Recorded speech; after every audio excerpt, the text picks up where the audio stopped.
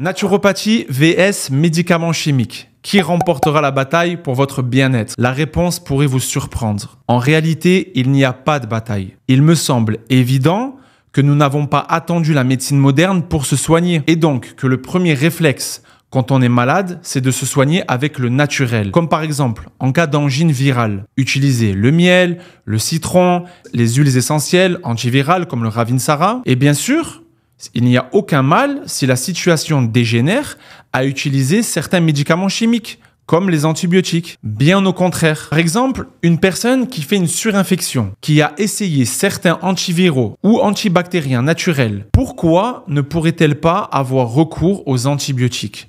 Rien n'empêche à cela. On ne va pas se laisser mourir, c'est une question de bon sens. Par contre, la prise des antibiotiques n'est pas sans danger. Évidemment, les personnes qui utilisent des antibiotiques devront faire une bonne cure de probiotiques. On voit donc que chaque méthode a ses limites. La médecine naturelle peut être aussi associée à un traitement chimique.